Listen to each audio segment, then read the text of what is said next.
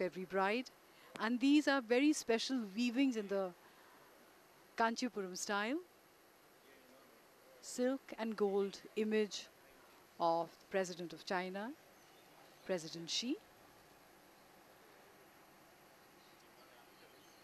चीन के राष्ट्रपति की सिल्क में आकृति और has woven these pieces and a gift from India to President Xi.